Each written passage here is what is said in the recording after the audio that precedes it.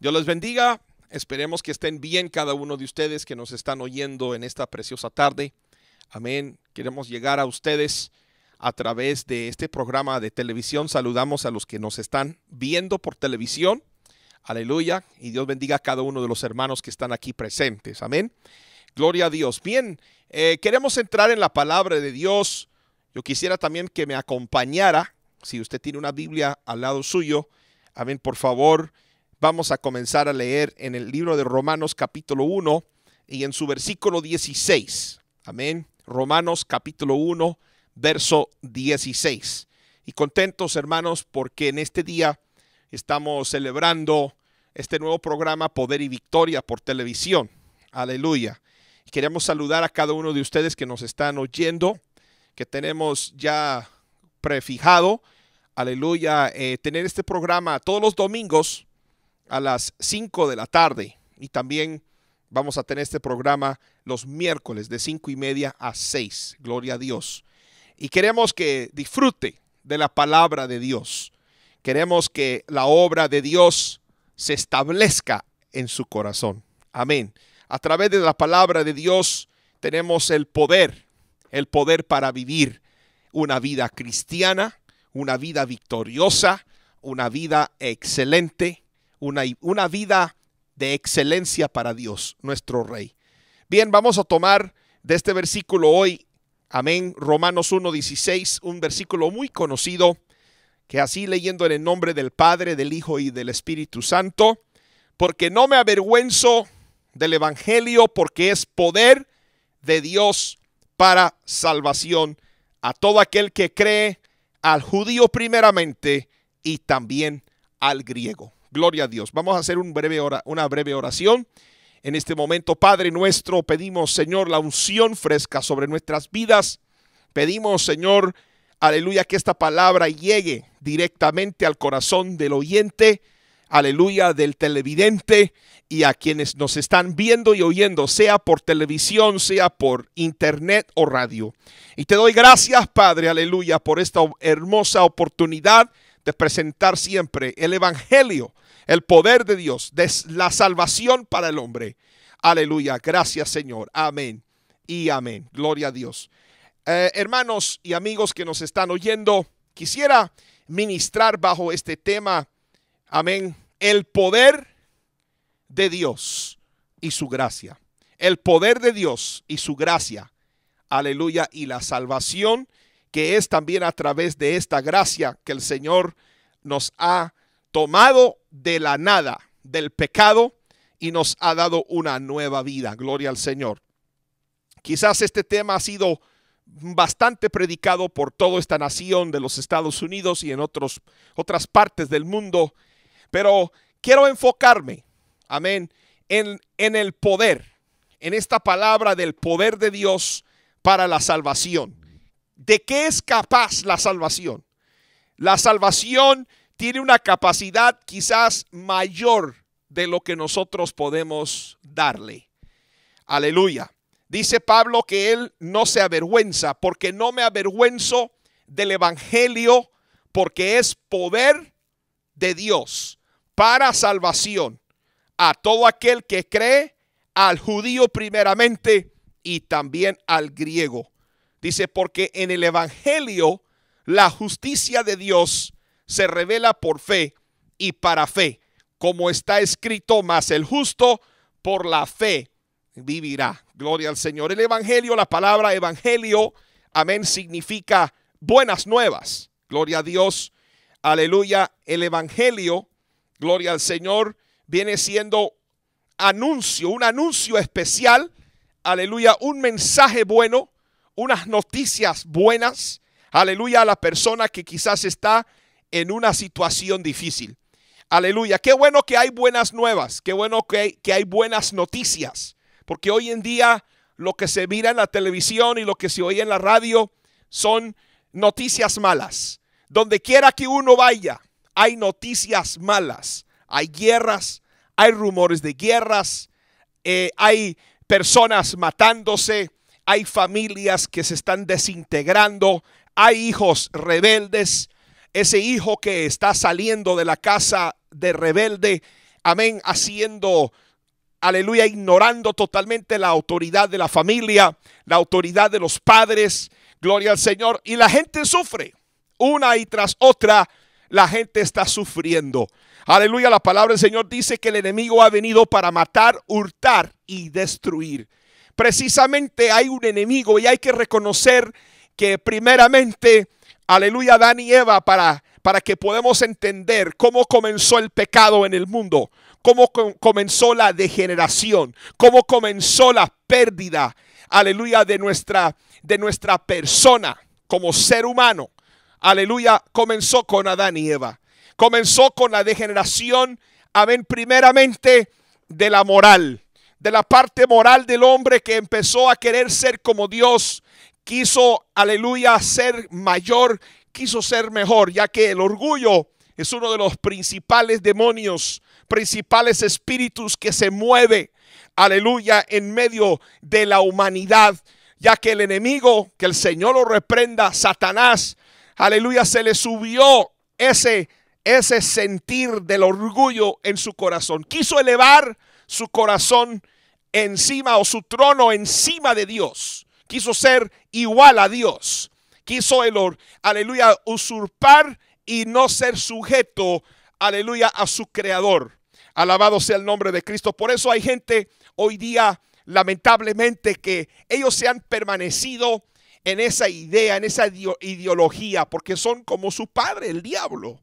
Amén, que el diablo es un orgulloso, igual ellos quieren ser un orgulloso. Y Eva, en, el momento de la tentación, creyó al enemigo que la tentó que dijo, tú serás como Dios, podrás ser como Dios, podrás ser, aleluya, una persona igual a Dios, aleluya, mintiéndole y ella aceptó la mentira. El enemigo, que el Señor lo reprenda nuevamente.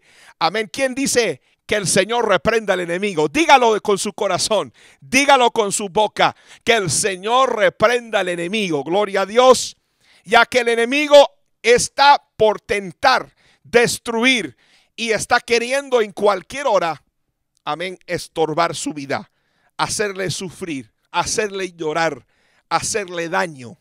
Pero tengo buenas noticias. Aleluya, precisamente estas noticias son buenas. Son buenas noticias que Cristo Jesús vino para destruir al pecado. Vino a destruir las obras de Satanás. Vino a deshacer, amén, la maldición, las perversiones, las ataduras. Aleluya, aquella atadura que está en el corazón del hombre, aquella atadura de, de hacer cosas que él no quiere hacer. No sé si estoy hablando a alguien, yo no sé si alguien que me está oyendo, tú estás haciendo algo que en algunas veces tú has dicho, yo no quisiera seguir haciendo esto. Yo estoy cansado, pero mañana y pasado otra vez estás haciendo lo mismo. Otra vez mañana o pasado estás otra vez en la tristeza, en el dolor del pecado. Y ya cuando tú dices, ya esto no lo vuelvo a hacer, esto ya voy a dejar de hacerlo, esto no me gusta. Y entonces tú te vas a tu casa y lloras un rato, quizás pides perdón con tu pareja, quizás tú le dices a tus padres, ya no lo vuelvo a hacer, qué mal que yo he hecho, aleluya, pero pasan dos o tres o cuatro días y otra vez te llama la atención el pecado. Otra vez te vuelves a caer en lo mismo. Estos son ataduras. Esto son, aleluya, eh, eh, espíritus demoníacos que están obrando en tu carne porque no hay una entrega a Cristo Jesús. Pero tengo buenas noticias, aleluya. Tengo buenas nuevas. Por eso apareció el Hijo de Dios para deshacer esas obras, para deshacer lo que hay en nuestro ser, como dice. Por eso Pablo dice, yo no me avergüenzo del Evangelio, yo no me voy a avergonzarme del Evangelio. Hay mucha gente que se avergüenza de Dios, se avergüenza de Cristo, se avergüenza, dicen cuando, aleluya, quizá le pregunten en el trabajo, ¿tú eres cristiano o yo no? Aleluya, ay, gloria al Señor, pero Pablo no tenía vergüenza porque él sabía de qué se trataba. El Evangelio es poder de Dios.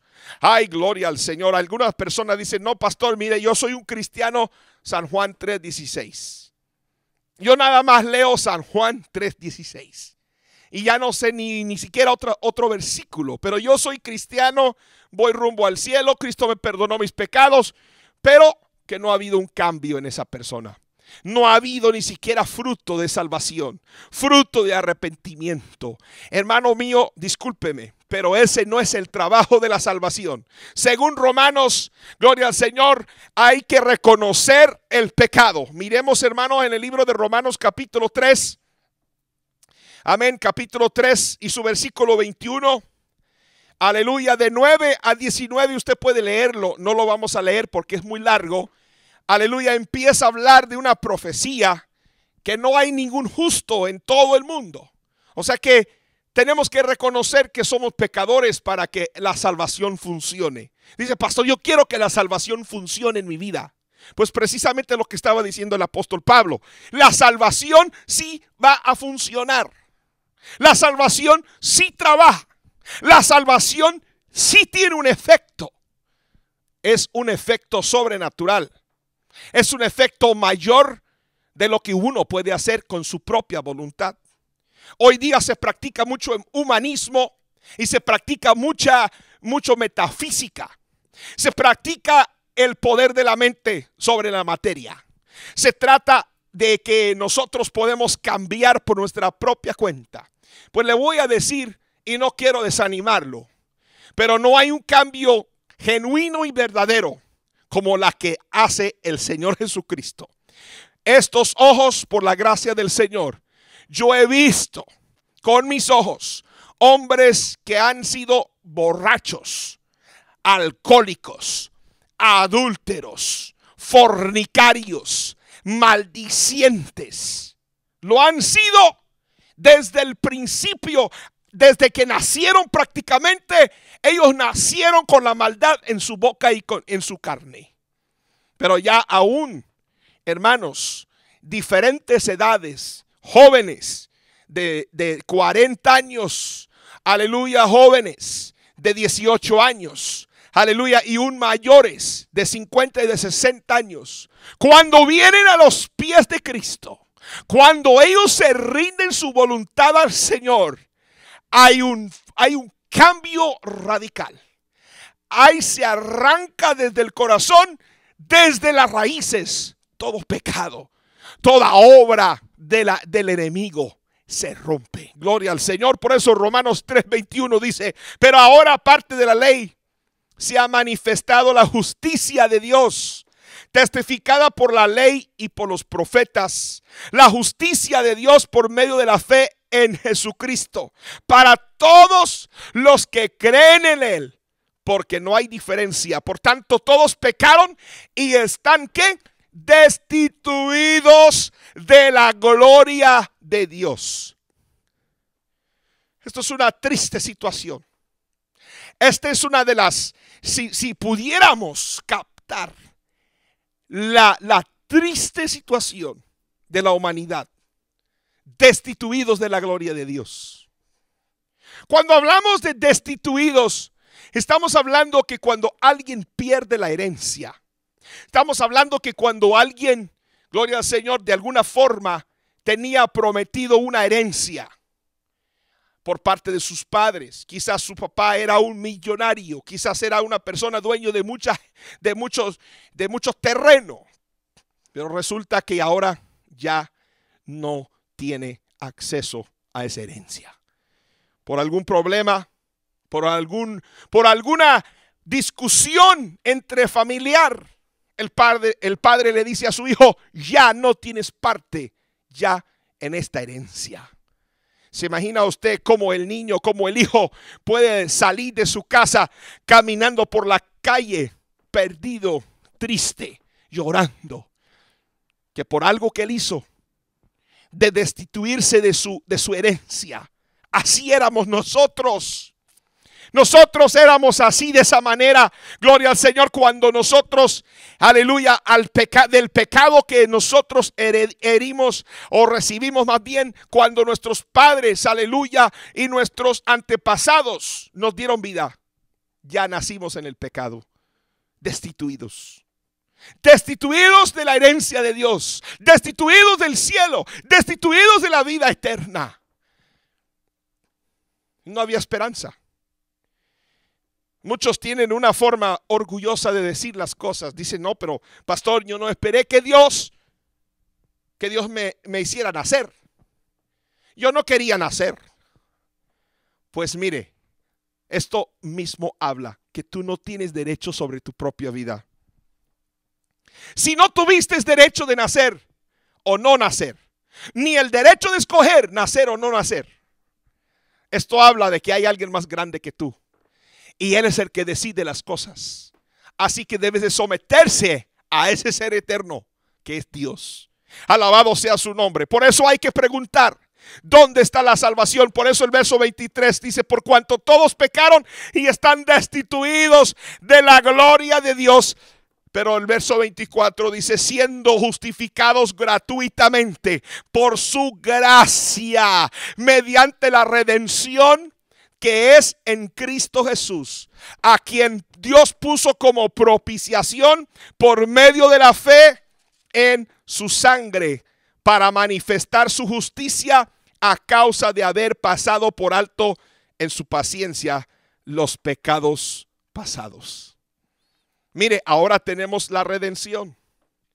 La redención es parte de la salvación. ¿Qué es la redención? Bueno, la redención es que nosotros éramos esclavos de alguien más. Éramos esclavos de un de uno de un maestro ajeno. Y vino Jesucristo y dijo, "Yo te voy a pagar por este esclavo." Te voy a redimir este esclavo. Esta gran deuda que él tiene, que ha incurrido en su vida, ahora cuánto es.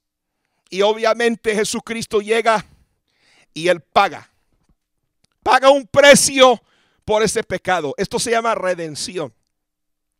Esto quiere decir, hermano, que nosotros éramos pecadores endeudados con una imposible capacidad, una imposible manera de poder pagar esa deuda. Si alguien hoy mismo le dijera a usted, usted mi amigo, usted debe un mil millón de dólares y usted solo en la cuenta tiene mil dólares. ¿Qué va a hacer usted? Aleluya, ¿qué va a hacer usted? Gloria al Señor. Usted dice, no, mejor llévame para la cárcel. Y así con la misma te llevan para la cárcel. ¿Qué tal si un día algo te pasaría? Alguna cosa, usted incurre, un daño. Usted accidentalmente, usted toma la vida de alguien por un accidente, de un choque, de un carro. Y usted dice, nadie me puede pagar esa deuda. Pero sabe que en este caso no hay, no hay solución. No puede usted pagar por, esas, por ese pecado tan grave que usted ha cometido. Pastor, pero yo no he cometido muchos pecados graves. Con uno solo usted ha transgresado la ley. Con un solo pecado usted no merece al cielo ni la vida eterna. Pero gracias al Señor Jesús que Él pagó la redención él pagó el precio y no cualquier precio, sino el precio de la sangre de Cristo Jesús. Oh, gloria al Señor. Y mire, no tan solo es la redención, sino la sustitución la justificación y la sustitución.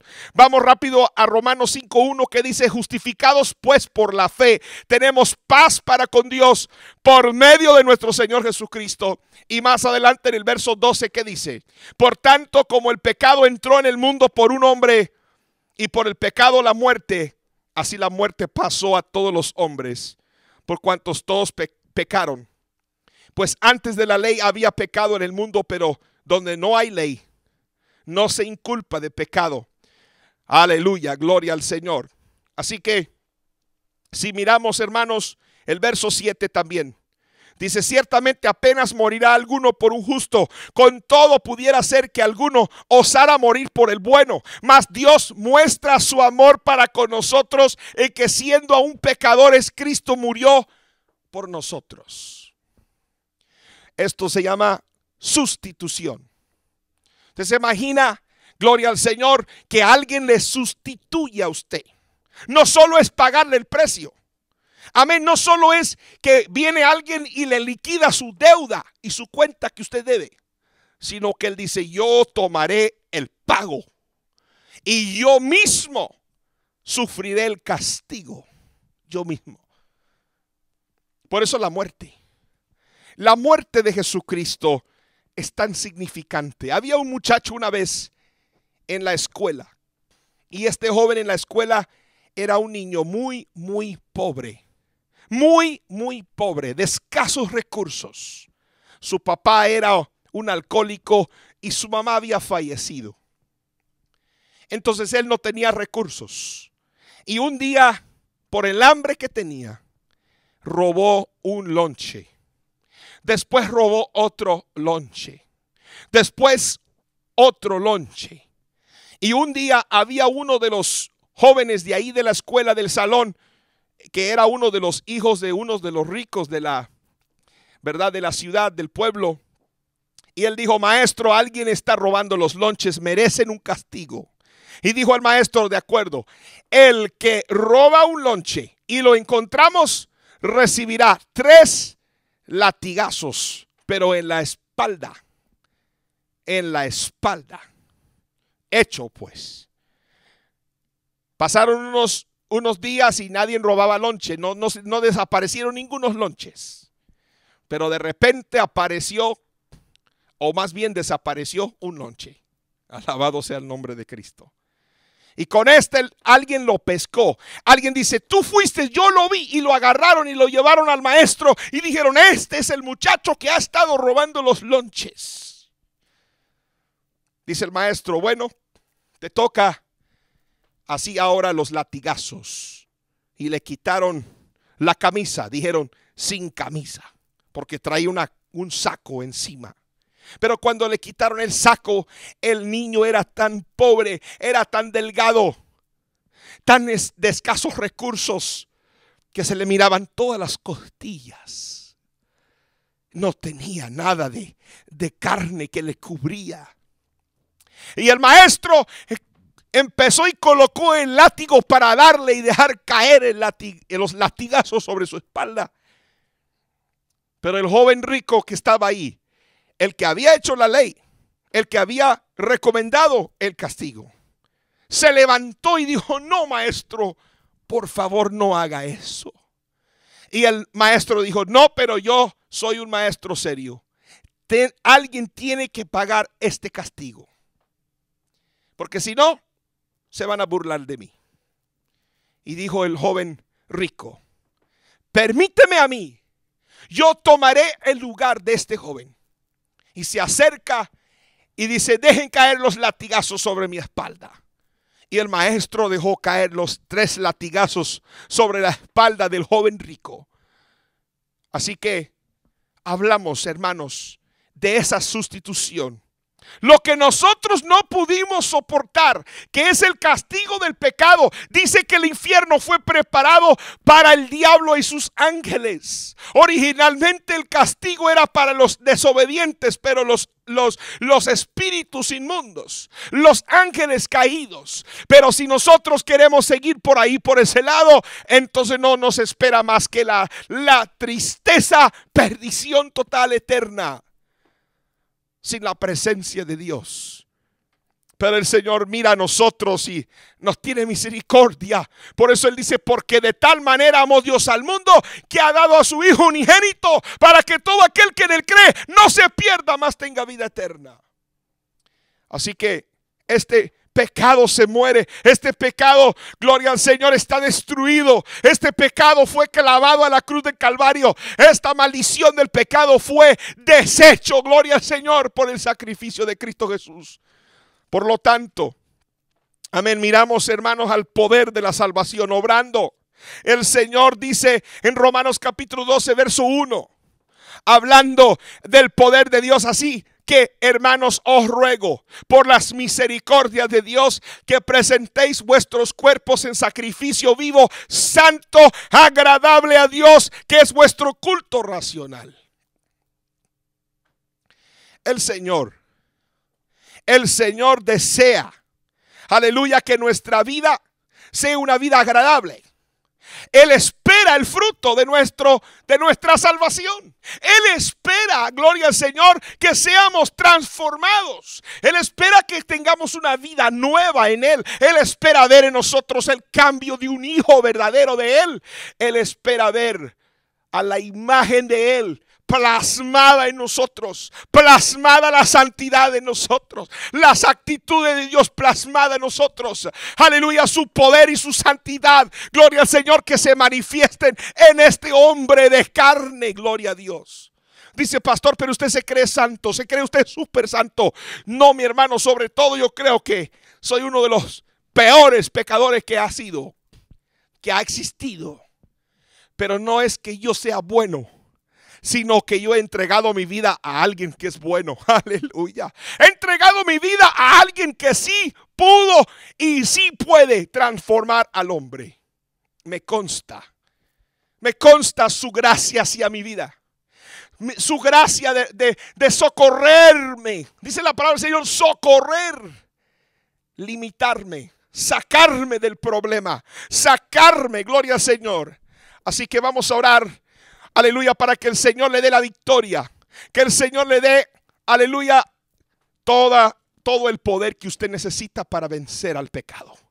Padre nuestro, en el nombre de Jesús, dale autoridad a aquellas personas que sienten ahogados en sus pecados. Aleluya, que en este mismo momento pueden recibir la salvación por medio de la fe. Mi amigo solo diga, Señor Jesús, perdóname mis pecados. He pecado contra ti, contra el cielo y ahora yo te doy mi vida. Entra en mí, Señor. Entra en mi vida y dame la victoria que necesito. Gloria al Señor. Entra en mi corazón y cámbiame, Señor. Me rindo, me arrepiento. Le doy espalda al mundo. Alabado sea tu nombre, Señor.